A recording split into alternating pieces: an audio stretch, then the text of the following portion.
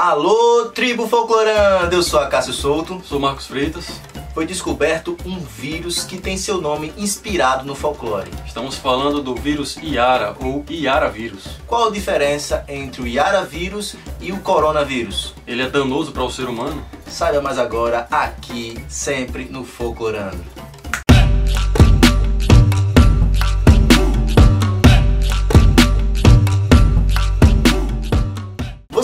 Conhece o site Folclorando? Se não conhece, é um absurdo. E se não conhece, mesmo sendo um absurdo, vai lá depois desse vídeo, é www.folclorando.com.br. Tem camisas maravilhosas do Curupira, do Saci, tem memes da Cuca Zoeira, tem várias camisas bem legais para você. Você vai encontrar a sua, o seu estilo. Além das camisas, você também encontra várias xícaras com o mesmo design da camisa feitos pelo nosso ilustrador Henrique Wiss. E também tem um diabinho da garrafa que promete aí, segundo a lenda, deixar você mais próspero. É só você ir em www.folclorando.com.br que o link está onde? Tá aqui na descrição, pode clicar e vai lá nos visitar, beleza? Agora chega de enrolação e vamos direto para o vídeo.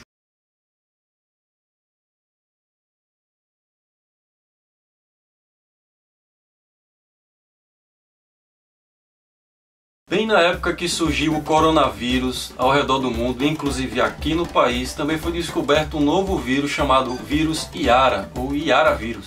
Ao ver essa notícia, muitos brasileiros podem ter se perguntado se vamos enfrentar mais um vírus em época de medo e confinamento. É que os cientistas encontraram um novo tipo de vírus que tem um genoma quase que inteiramente novo pela ciência, onde ele possui uma estrutura que não foi documentada em nenhum outro tipo de estudo científico até o momento. Estamos falando do Iara vírus brasiliensis, que recebeu esse nome em homenagem à Iara do folclore brasileiro, a rainha das águas doces, porque esse vírus foi encontrado no lago Pampulha, um lago artificial que fica na cidade de Belo Horizonte, em Minas Gerais. Aliás, um beijo a todo mundo de Minas Gerais aí que está nos assistindo agora. Mesmo que o Iara vírus brasiliensis não possa ser considerado como uma sirene sobrenatural, ele pode ser tão misterioso quanto a ninfa das águas. Isso porque um novo artigo pré-impresso sobre a descoberta diz que o Iara vírus ele pertence a uma nova linhagem de vírus amebal, que possui uma filogenia um pouco intrigante. Os membros da equipe, que se dividem em estudantes da Universidade Aix-Marseille, na França, e da Universidade Federal de Minas Gerais, sabem muito bem do que estão falando.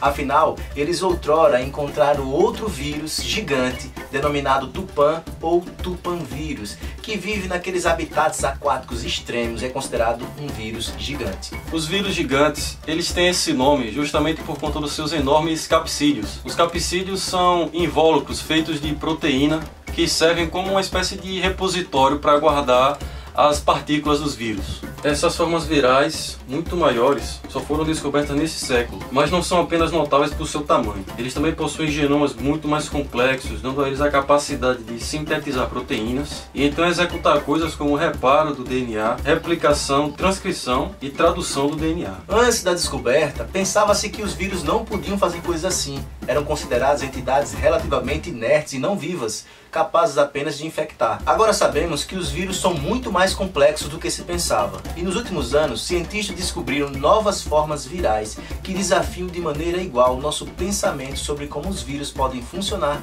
e se espalhar. A descoberta desse novo vírus, o Iara vírus, ele não parece ser um vírus do tipo gigante, mas o que os cientistas têm prestado atenção nele é porque o seu genoma é único e nunca foi encontrado um genoma parecido com esse.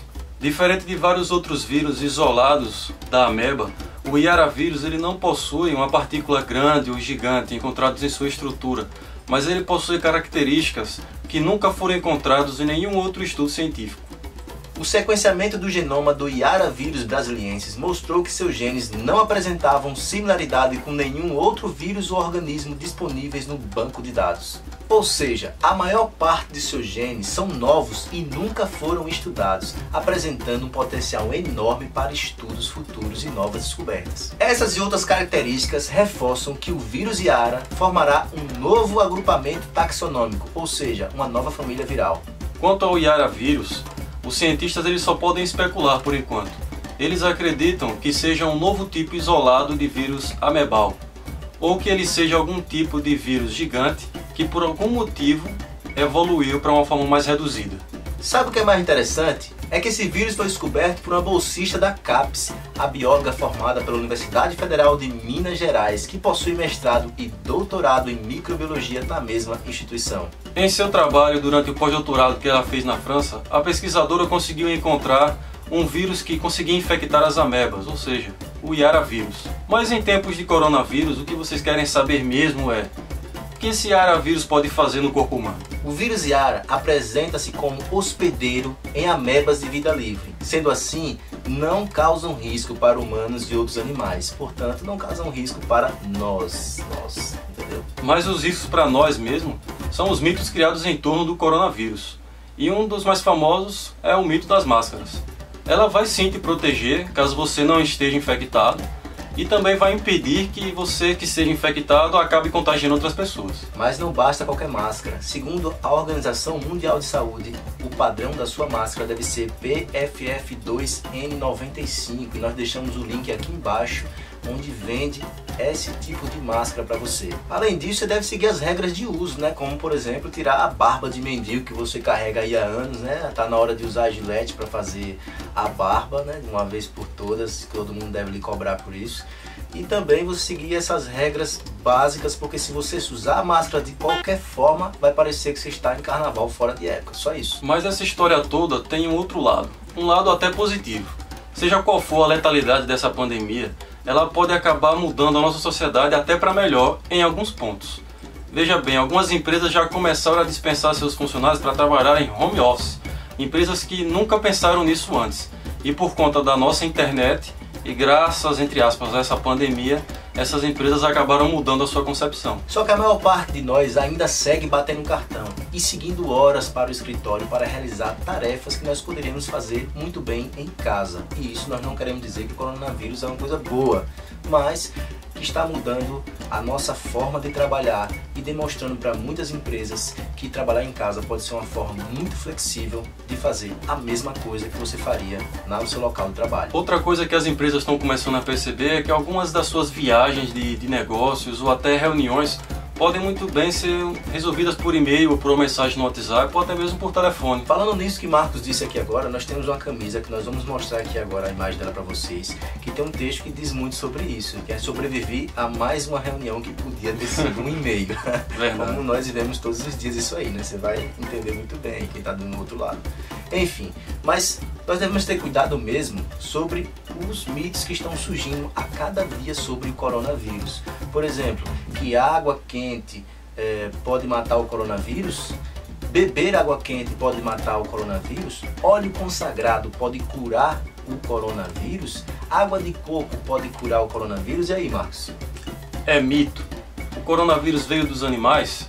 Recebeu algum e-mail dizendo que chá de erva doce cura o coronavírus? Paciente com coronavírus curado em 48 horas usando medicamentos para AIDS. Acho que não, é melhor pesquisar um pouquinho mais, não? É verdade não? Não sei. É mito. é isso aí, galera. Olha, cuidado aí com, com as fake news. Se cuida, pensa no coletivo. É isso aí, galera. Respeite a quarentena, evitem aglomerações, passe um tempo em casa maratonando os vídeos do nosso canal. E lembre de curtir e comentar aqui embaixo se você já tem ouvido falar desse novo vírus. E lembre-se de não ficar tão preocupado e tão paranoico com esse Yara vírus, porque ele não é danoso à nossa, à nossa saúde. A menos que seja uma meba, né? Se ele for uma meba, aí. Aí não podemos deve, fazer nada. Você deve ficar muito preocupado. Mas é isso aí, galera. Se inscreve no canal, aperta aqui no sininho para ser notificado de cada vídeo nosso. E a gente fica por aqui, como sempre, folclorando!